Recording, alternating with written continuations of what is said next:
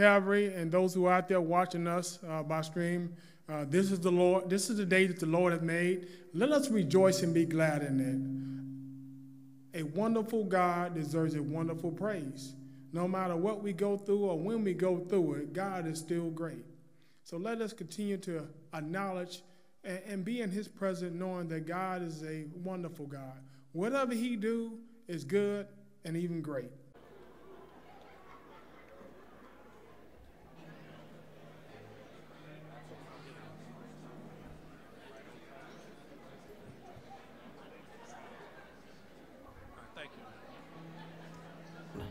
That requires living worship. Amen? All right. Psalms 63 says, God, uh, thou art my God, early will I seek thee. My soul thirsteth for thee. My flesh longeth for thee in a dry and thirsty land where no water is. Amen. I don't know about you. We come to worship and celebrate our God. Amen. Uh, if you are able to, Please stand for the procession.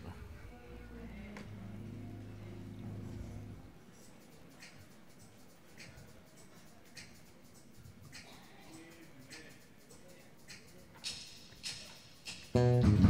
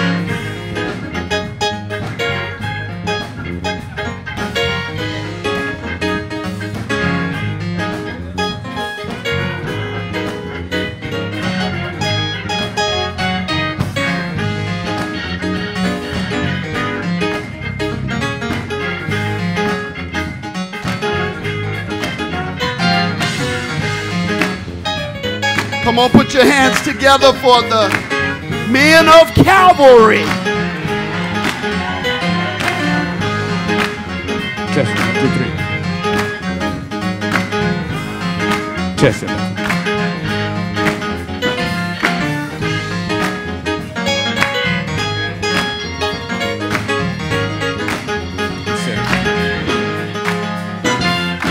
Lord, Lord, Lord, Lord.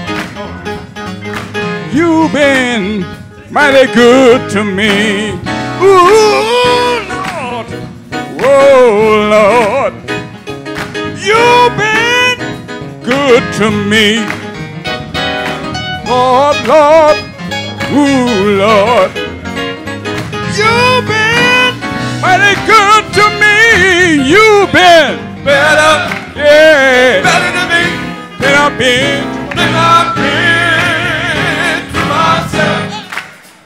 When I was sick and I couldn't get well, have I got a witness?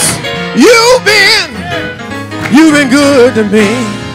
When I was sick and I couldn't get well, you've been so good to me.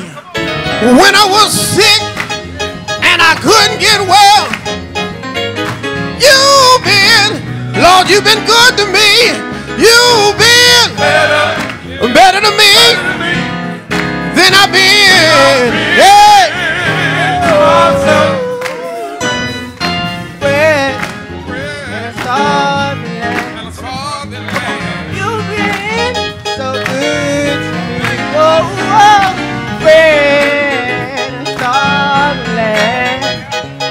You've been so good to me.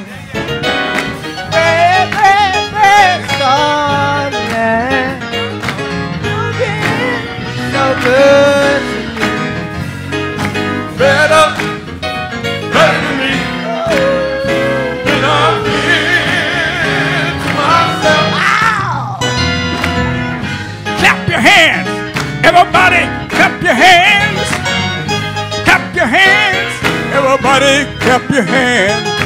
Come on, clap your hands. Everybody clap your hands. Clap your hands, everybody. Clap your hands. You've been better,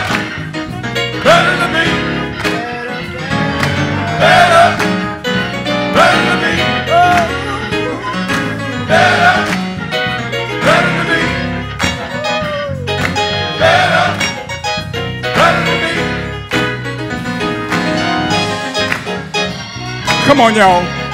I'm gonna ask you a question right here. Have it been good to you? If it's been good to you, say yeah.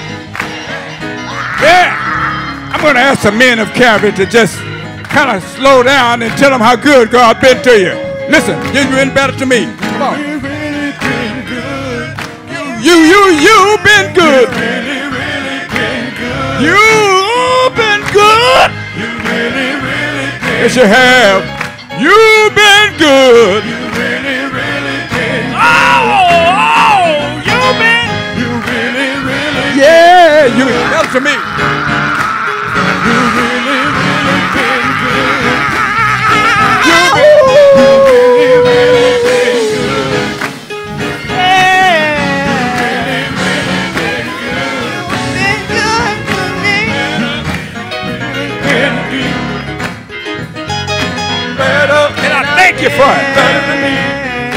I know you've been so good to me. Better than me.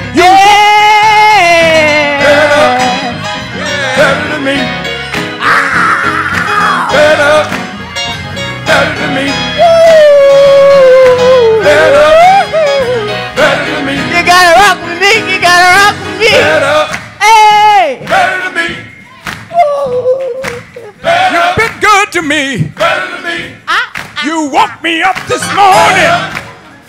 Better than me. You woke me right on time.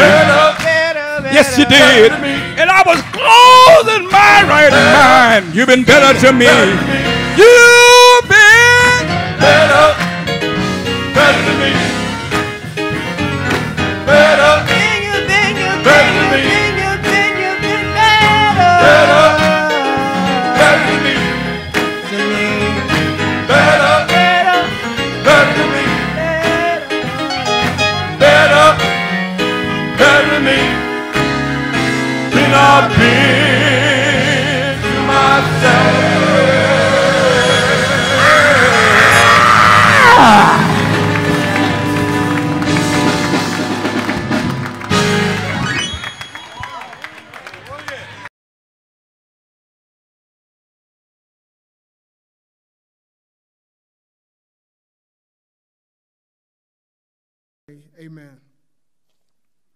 Well, today we would be celebrating uh, Calvary Man's, uh, Men's Week.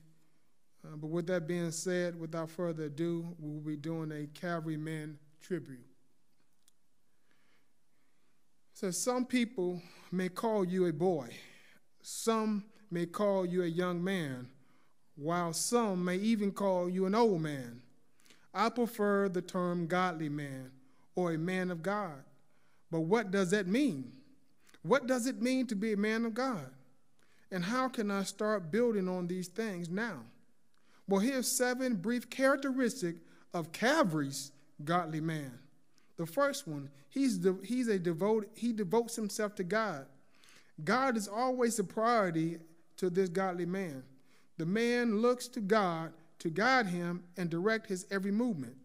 He relies on God to provide him with the understanding of situations. He devotes his time to doing good and to do God's work and to do unto the least of them. They also spend time devoting a rich and intimate relationship with God. Real God, real man of God loves the Lord. He keeps his heart pure. Oh, those uh, wickedness, uh, temptation. They know also well our ways and our desire for the Lord. A godly man strives to have a pure heart. He strives to avoid lust of the eyes, lust of the flesh, and pride of life, and other temptations, yet works hard to overcome them. Is a godly man a perfect man? Well, not unless he's Jesus. So there are going to be some times a godly man makes mistakes, falls short, misses the marks, and even sin. Yet he strived to make sure that those mistakes are not being repeated as he displayed a heart of repentance. Thirdly, he keeps his mind sharp. A godly man desires to be wise so that he can make good decisions. He studies his Bible. He works hard to make himself biblically sound and a more uh, disciplined person. He wants to know what is going on in the world so that he can see what he can do for God and others. This man also uh, learned to, to be resilient in the course of situations. This means that he attends Sunday school, Bible study. That he also is a, he also is continuing prayer and worship service. Fourthly, he has integrity. A man of God is one that puts an emphasis on his own integrity. He strives to be honest and just. He works to develop a strong ethic and moral foundation. He has an understanding of godly behavior, and he, and he wants to live the, a life that pleases God. A godly man has a good character and a clean conscience. A, a godly man puts value on truth, on the truth of God. He doesn't skirt the truth or avoid of uh, confrontation. He seeks in telling the truth in a loving manner and in a way that God represents God and is also is an honest attestment to who he is. Fifthly, he works hard. In today's world, we often are discouraged from hard work. There seems to be an underlying priority placed on finding easy ways in, in order to do things. Yet a godly man knows that God wants us to work hard to do our job well. He wants us to be an example to the world that of what we do as hard work, it has a biblical implication and has a practical implication. If we start developing these disciplines early and often, it will translate into our college, workplace, and also the kingdom of God. Six, he never gives up. We all feel defeated at times, and when we just want to give up. There are times when the enemy comes in and tries to take away God's plan for us and put up barriers and obstacles. A godly man knows the difference between God's plan and his own. He's aware and never gives up on God's plan and to be resilient through these situations also. And he is also encouraged to also know that when his direction and God's direction conflict, that God's, God's plan overrules his plan. Developing determination to keep it going is not an easy level on any task. However, Paul encouraged us not to go worry and well doing, for we will reap a harvest if we faint not. Lastly, he gives without complaints. Society tells us to always look out for number one. But who is actually number one? Is it God? It should be, and the godly man knows it. When you look out for God, He gives you a heart of giving. When we do God's work, He gives us, he, and we give to others, God gives us a heart that soars and in the manner of who He is. It never feels like a burden. A godly man gives his time, talent, and treasures without complaining because he knows that it glorifies God. It's all for the glory of God and it helps others through their tough time. Dreams can be perceived as perfect items. However, life is not. For our life may be full with tears, cheers, and challenges. Brothers, let's go forward in Christ that we may be the difference in our homes, in the church, in communities, and abroad. May we continue to keep Jesus Christ as our anchor.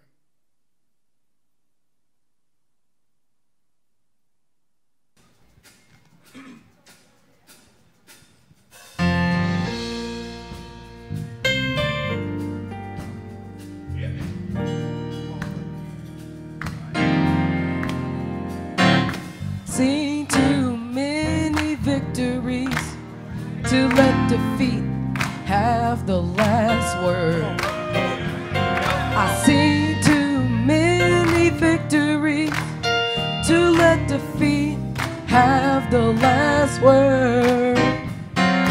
Seen too many victories. To let defeat Have the last word.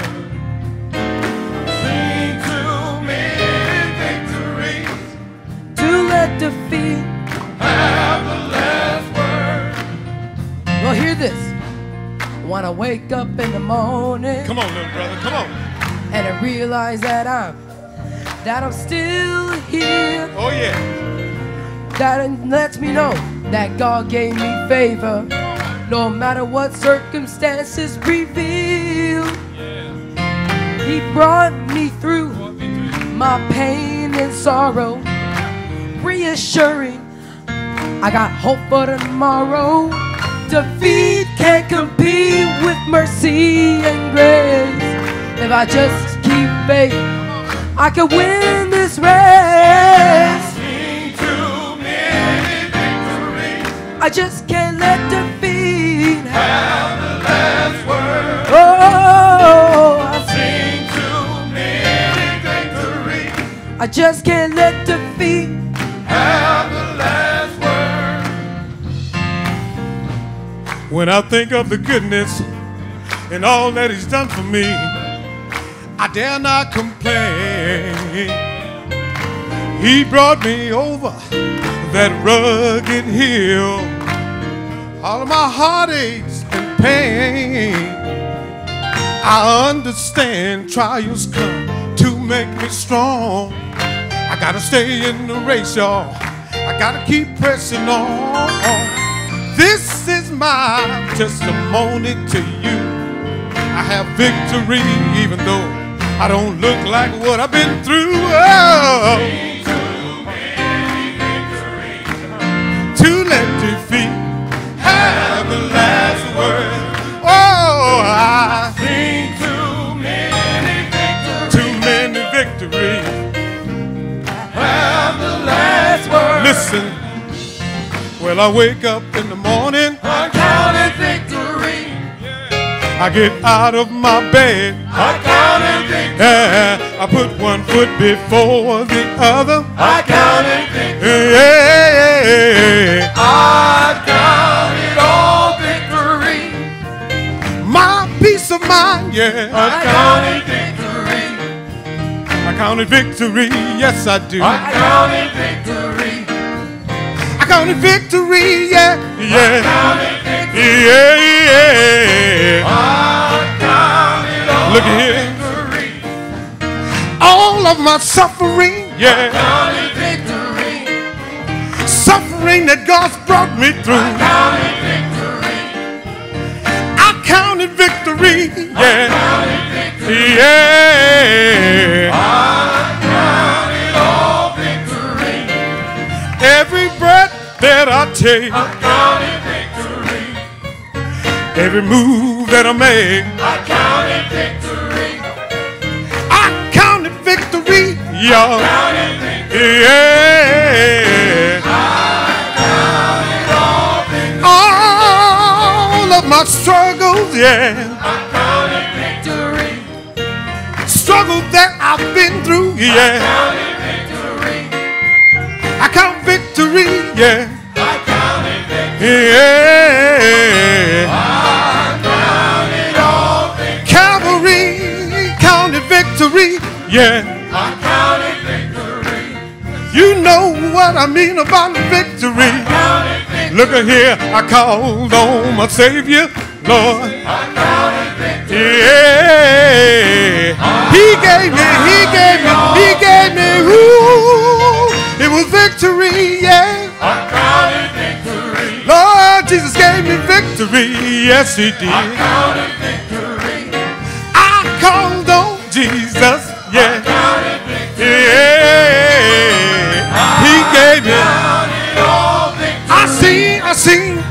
I've seen too many victories to let defeat have the last. Come on, y'all, sing with me. I've seen too many victories to let defeat have the last word.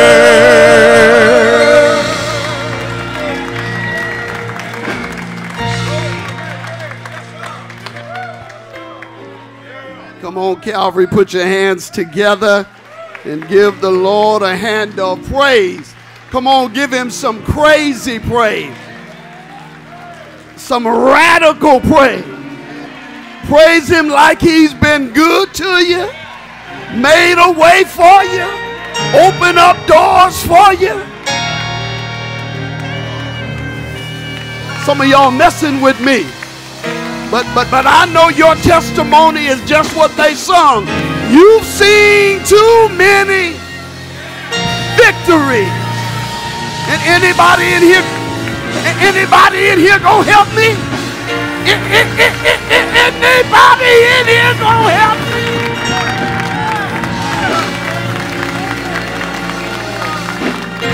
Oh, bless his, bless his name. Oh, shucky ducky quack quack. Amen. Thank God for the men of Calvary. Amen. At this time. Good morning, Calvary.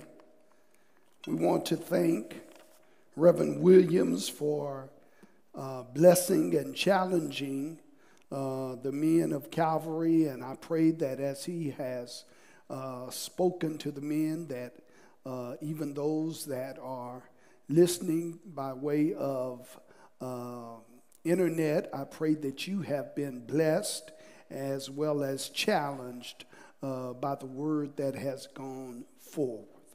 Amen. Well, let us get into the word of God. I want to invite your attention to the 14th chapter of the Gospel of St. John, John chapter 14, a very familiar passage of Scripture. And I want to look at the first 11 verses, John chapter 14. And I want to look at the first 11 verses. You have your Bibles, uh, you can turn with us. Let not your heart be troubled. Ye believe in God, believe also in me. In my Father's house are many mansions. If it were not so, I would have told you. I go to prepare a place for you. And if I go and prepare a place for you, I will come again and receive you unto myself, that where I am, there may be ye also. And whither I go, ye know, and the way ye know. Thomas saith unto him, Lord, we know not whither thou goest, and how can we know the way? Jesus saith unto him, I am the way, the truth, and the life.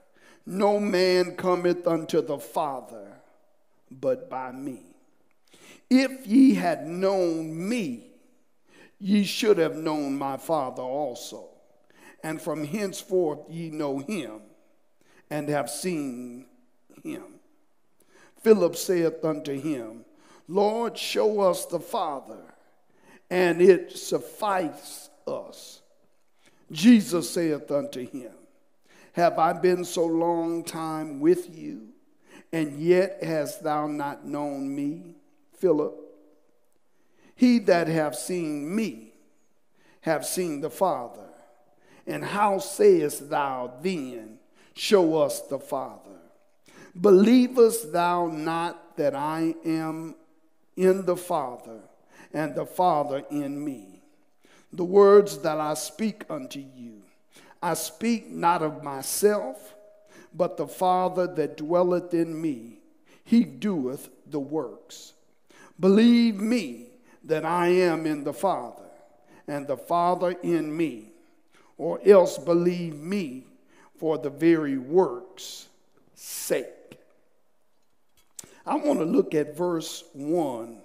Let not your heart be troubled. From those words, for a few moments this morning, I want to try and talk from the subject God's cure for heart trouble. God's cure for heart trouble. Let us ask, bow and ask God to bless our time together and our time in study. Our Father and our God, we love you, we praise you, and we thank you.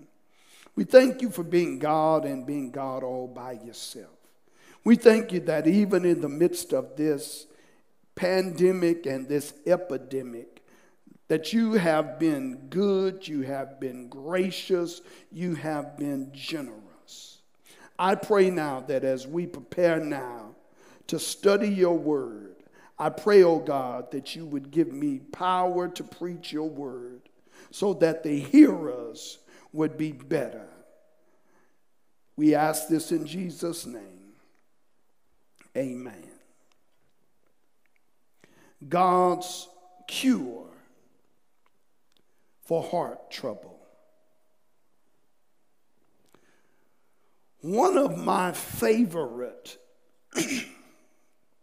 quotes is from Winston Churchill. And I think that this quote applies to these trying times that we're all facing. Winston Churchill, he spoke these words during World War II. And what he said was when you're going through hell, keep going. And I just believe that that's some great advice. We're all going through as we try to flatten the curve of the coronavirus. And I want to say to us, let's keep going because better days are ahead. And I want to thank all of you for doing your part to keep our community safe. In our text in John chapter 14, I think I need to give you some interpretation and some explanation on John chapter 14. In the Bible, we have four gospel stories about the life of Jesus Christ. They are in the New Testament, and the books are Matthew, Mark, Luke, and John. But the Gospel of John is a little different from that of the Gospels of Matthew, Mark, and Luke. We call the Gospels Matthew, Mark, and Luke, we call them the synoptic Gospels because they follow a similar timeline. And most of the stories recorded in these Gospels tell us what Jesus said, and they tell us what Jesus did while he was in Galilee. But in contrast, most of John's Gospels takes place in Jerusalem. And John organizes his story about the life of Jesus around seven miracles, or you could say seven signs that Jesus performed. And then John highlights the seven I am statements of Jesus. And we see the sixth I am statement of Jesus in this text today. But the most unique thing about the Gospel of John is that he adds this amazing section that we're looking at today. The setting of our text is the upper room in Jerusalem where they had the Last Supper. Jesus has gone out to betray Jesus.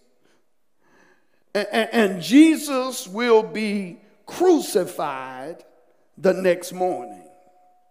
But before Jesus is arrested, John mentions this teaching that Jesus gave his disciples. Some call this section the farewell message of Jesus. Now, now, now we've got to remember that the disciples they were confused, the disciples they were afraid, the disciples they were troubled. And I think right along here I can use Texas vernacular. Jesus says to the guys, Hey guys, don't freak out. Trust God. Trust me because we got this. And, and, let's be honest, there's a lot of stress in our world right now. And, and, and come on, help me right here. Even before the coronavirus, some of us were already stressed out. And the virus has increased our stress level. You could say that we're all stressed up with nowhere to go.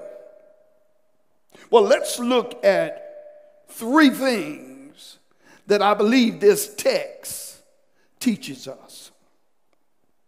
Number one, I believe this text teaches us that Jesus is at the Father's house preparing a place for us. Jesus is at the Father's house preparing a place for us. We, we know that about 2,000 years ago, Jesus rose from the dead, and he is now alive forevermore. And, and after spending 40 days with his disciples, he caught a taxi cloud and went on back to heaven. And the question is, what has he been doing all this time? That, that's the question. What, what has he been doing all this time? Well, according to our text, He's been preparing a place for us. And in that prepared place for prepared people, we won't have to worry about aging. In that prepared place for prepared people, we won't have to worry about diseases. In that prepared place for prepared people, we won't have to worry about problems. Now, the King James Version of 1611, it says, In my father's house are many mansions. And this has messed some of us up. We think that we've got a mansion in heaven. But, but what Jesus is really saying is that we've got a room that we will share with all other heavenly family members. Sometimes non believers, they, they like to criticize Christians about heaven. They, they say all we care about is the pie in the sky and the sweet by and by. But living the Christian life isn't just about the pie in the sky and the sweet by and by, but God is so good that He every now and then gives us some steak on our plates while we wait. Some say that Christians are so heavenly, heavenly minded until we are no earthly good. But listen, I would be a Christian even if there wasn't a heaven. Because Christians, we know how to love. Christians, we know how to be kind. Christians, we know how to forgive. And if everybody lived like the Bible says we ought to live, our world would be a much better place. I heard a little story about a man on a flight, and while on this flight, a storm began to rage. The plane was going up and down, the plane was being twisted and turned. And that was a little girl sit, seated on the plane across from the man by herself, and the storm was raging, but the little girl was just sitting there singing and reading her little book. When the plane finally landed, they were getting ready to get off the airplane. The man looked over at the little girl and said, How could you be so brave on this plane by yourself in the midst of the storm? The little girl says, I wasn't worried about the storm because my dad is the pilot and I know he was going to get me home safely. Now, here's the shout we don't have to worry about the storms that are raging in our life because if Jesus is your pilot, he's going to get, a, get you home safe and sound.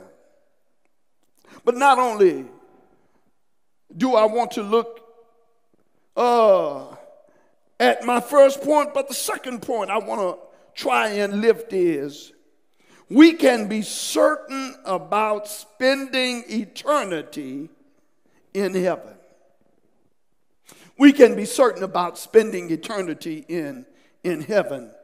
One of the scary things about now is that there are, or there is, so much uncertainty. I mean, we, we're all wondering what if this happens? Will I get the virus? Will someone that I love get the virus? Will there ever be a vaccine for the virus? We're dealing with so much uncertainty and we want some kind of assurance. And, and, and, and, we can't get the assurance that we want. We can't get it from the government. We can't get it from our president. We can't get it from our governor. But can I tell you, in the midst of such uncertainty, there are some things that we can be certain and sure of. I know two things that you can be certain and sure of. Number one, that God loves us. And secondly, that Jesus died to give us eternal life. And, and we can have that blessed assurance. For the Bible tells us in 1 John chapter 5 verse 13, 1 John chapter 5 verse 13, he says, I have written these things to you who believe in the name of Jesus, the Son of God, that ye may know that you have eternal life. When it comes to our salvation, we don't have to have a hope so salvation. When it comes to our salvation, we don't have to have a think soul salvation. But, but when it comes to our salvation, we ought to have a no soul salvation. There are a whole lot of things you may not know, you may not be sure of, you may not be certain of, but, but if you are a child of God, you can be sure and certain of your salvation. In a very famous passage, Psalms 23, Psalms 23, David sung and wrote about overcoming fear. And when he got to verse 4, he says, Yea, though I walk through the valley of the shadow of death, I will fear no evil. For thou art with me, thy rod and thy staff, they comfort me. And then he concludes verse 6 by saying, Surely Goodness and mercy shall follow me all the days of my life, and I will dwell in the house of the Lord forever. I think y'all can help me out there. Because the longer I live and the older I get, every now and then I start thinking about family and friends that have crossed over to the other side.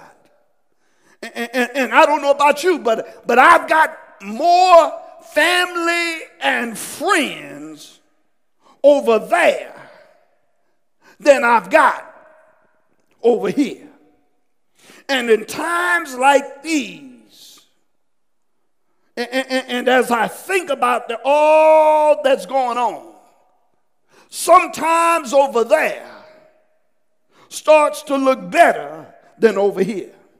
Now, now don't, don't, don't, don't, don't, don't, don't, don't mis- mistake me. I'm not rushing to get there, but I want you to know I'm ready to go there because I want to see my mother. I, I've got a grandfather over there. And I know I'm not the only one. There's someone listening to me right now. You may be dealing with the death of a loved one even right now. You've got some family members and friends over there. But most of all, I don't just want to see my mama. I don't just want to see my, my daddy, but I want to see Jesus. Living the Christian life really means this we can have a fairy tale ending. We can say, and they lived happily ever after. Last thing I believe the text teaches us, and that is that Jesus promised to be our only way to heaven. Jesus promised to be our only way to heaven. In verse 6 of John chapter 14, Jesus makes his sixth of seven I am statements. And every time Jesus stated that I am, he was simply saying that he was God. Y'all Bible readers and Sunday school attenders, y'all, y'all remember back in Exodus chapter 3 when Moses asked God, What is his name? And God said, I am. So when Jesus says, I am, he is saying, I am God. Now, y'all got to check out verses 5 and 6. y'all got to check out verses 5 and 6. Jesus is talking to who I like calling honest Thomas. Now, now we like calling him doubting Thomas, but to me, he's really honest. Because Thomas says, I, I, I, I, must have missed the memo. Thomas says, I didn't get the email, But Jesus, I want to know where you're going and how can we know the way. And Jesus responded by saying, I am the way, I am the truth, and I am the life. And when you look at those words, they tell us who Jesus is, and they tell us what Jesus does. He, he, he says, I'm the way, and without me there is no going. He says, I'm the truth, and without me there is no, no knowing. He says, I am the life, and without me there is no living. He further says that no one can get to the Father except through him. Now, I know some religions say that there are many pathways to God. And that may sound logical, that may sound rational, but Jesus leaves no room for that. Jesus says, I am the only way. And, and y'all got to really look at that. Y'all got to look at that.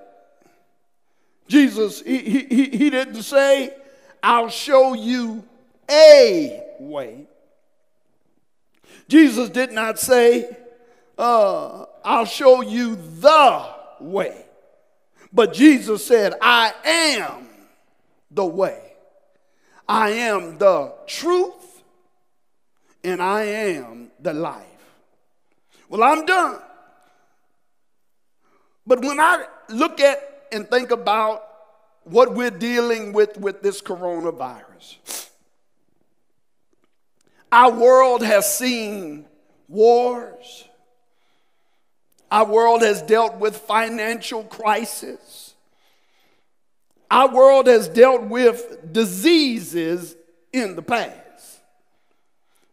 And, and, and the same God that brought us through and brought us out way back then can bring us through and bring us out right now.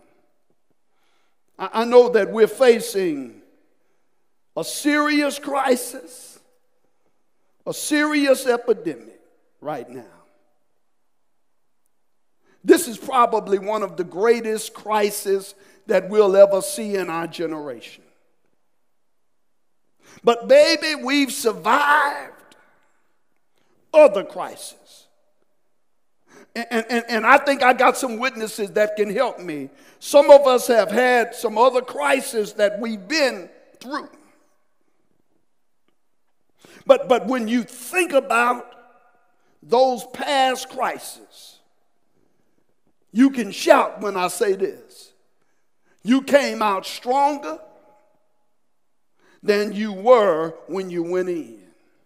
And I'm, I'm done, but I just want to close there with the words of Marvin Sapp when he came out of his own personal experience. Marvin Sapp said it like this I'm stronger I'm wiser. And God knows I'm better. I, I want to tell you put your trust, put your confidence, put all of your faith in God because He will see you through. Maybe you have been listening to this message. And you may not have a personal, intimate, one on one relationship with Jesus. This is a great time for you to get to know Him on a one on one, personal, intimate basis. Your relatives may know him. Your parents may know him. Your grandparents may know him. But you've got to know him for yourself. And the blessing is, you don't have to be in the church house to get to know him. Matter of fact, when you check the biblical record, there are some great believers that done great things for God, but they didn't get to know him in the church house. So, right where you are, if you pray this prayer, God, I am a sinner, but I believe that you can save me. Lord, I ask that you deliver me not only from my sins, but Lord, deliver me from myself so that I can have eternal life, so that one day I'll be able to live with you in heaven. My brothers and sisters, if you have prayed that prayer, that prayer of faith and forgiveness, I want you to know that God can save you right where you are. But this is what I want you to do. If you're in the local area of San Antonio, you can call us 210-222-1541 and we can connect you uh, with other resources to help with your Christian journey. Or if you're not in the San Antonio area, connect with a church, amen, that worships and serves God. Because part, part of being a Christian is to learn about Jesus Christ. That is our prayer and desire for you. Amen.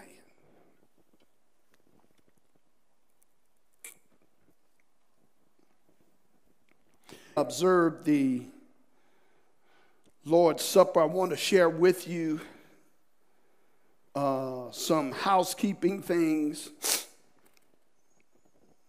I want to challenge us to be in continued prayer. Prayer for our city, prayer for our state, prayer for our nation, prayer for our world. For information relative to some of the happenings and going ons at our church, we welcome you to call the church office. Our church office is still open Monday, Wednesday, and Friday from 9 to 1, Tuesday and Thursday from 10 to 2, and the phone number 210 222 1541, or you can check out our website. And I want to thank uh, Sister Gail uh, Johnson for keeping our website update and current. This Sunday, our kids will be kicking off with their Sunday school. Many of our young people, uh, they have been uh, reached uh, by Brother Kenny Williams and uh, not only did he reach out to the kids, but he also reached out to our parents, uh, the parents of our kids, just to let them know uh, what was taking place on this coming Sunday at 9:30 via Zoom. Our kids can participate in Sunday school. We are still currently making office calls. If you have not received a call, what will you do this for us? Give us a call. Amen. And, and let us know that you've heard and you've been watching uh, via live stream uh, that we were calling, but you had not received a call and, and you just want to call in to give us uh, current and accurate information. Uh, if you didn't come by last week to receive communion, so that we could take it virtually together, and we'll do that as soon as I finish with our morning announcements. Uh, we welcome you to come by the church from 9 to 11, and we'll have curbside communion. From 9 to 11, we'll have curbside communion. Calvary, next Sunday is Mother's Day, and we will be here from 9 to 11 for mothers that want to come by and pick up a small gift, a small token of love from your church. Now, I believe we have about 200 gifts for the mothers, and, and we're going to give them out on the first come, first serve basis. And again, that will be next Sunday, Mother's Day from 9 to 11. Calvary, I want to thank you for your continued support of our church and our ministry by uh, your prayers and your financial giving. Thank those of you that uh, have been giving uh, online, those that have mailed it in, those that, that have dropped uh, it in, uh, dropped by the office and gave. Thank you so very much. That enables us and allows us to continue to do ministry, even though we're not able to worship corporately. But I want you to know that ministry is still taking place. I want, matter of fact, let me give a shout out to our praise dance ministry, Sister Doris Wilborn and Sister Linda Jones, giving leadership to giving of clothes to uh, CASA. And uh, CASA deals with children uh, who are doing transition from their home into foster care. And uh, all of you uh, members that bought clothes, it's brand new clothes uh, that will be given to CASA. I want to thank you so very much. Last thing before we observe the Lord's Supper, let us be in prayer for Brother Anthony Jones, whose sister in law passed away on Thursday, Miss Lorraine Jones in Houston, Texas. Certainly, let us keep the Jones family lifted up in prayer. Just about a month ago, he lost his father and then I think last week he lost a close cousin uh, or two close cousins. And then this week, uh, his sister in law. Certainly let us keep them lifted up in prayer. At this time, let us prepare to observe the Lord's Supper. I'm going to ask Reverend Terrell Williams to come. He's going to lead us in our prayer, and then we will come and observe the Lord's Supper. Reverend Williams.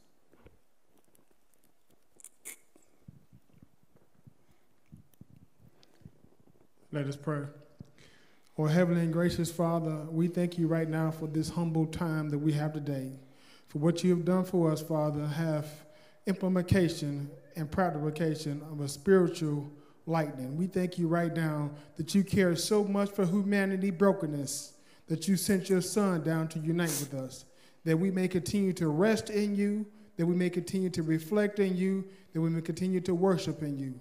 We pray right now for the hearts and mind that we may continue to rejoice for what you have done for us. And also, Father, we just thank you right now for your blood that will continue to cover us even in the midst of this corona. We pray right now for the blessing of the people that we receive. In Jesus' name we pray. Amen. Amen. The Bible says on that night in the upper room, Jesus took bread, and after he had broke it and blessed it, he told the disciples, Take ye this bread and eat ye all of it, for this is my body which was broken for you. Likewise with the cup, after he had given thanks, he said, Take this cup and drink ye all of it, for in it is the new covenant which is in my blood.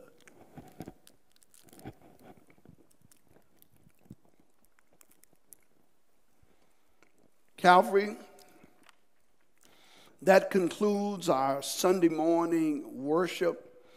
Look forward to uh, joining you again on this coming Wednesday with Wednesday in the Word.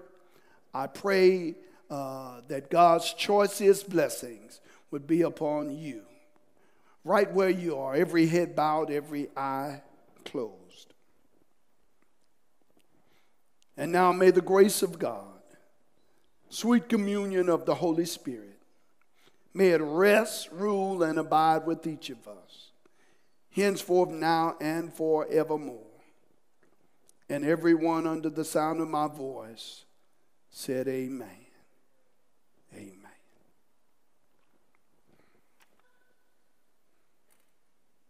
Calvary, one last announcement, and we want you to stay tuned uh, to the church office as well as our website Next Sunday, we want to do uh, a praise in the parking lot. We want to try to have worship where you pull in, we'll uh, be able to give uh, a, a musical uh, rendition of, of, or two, and then we'll have a word. Uh, as you pull in, we'll have someone to give direction so that cars can be lined up. Uh, you'll have to remain in your car. Amen. But prayerfully, on next Sunday, we're going to try to gather together with praise in the parking lot. Uh, we want to do that around 10 a.m. Around 10 a.m. Praise in the parking lot here at Calvary. God bless you until then.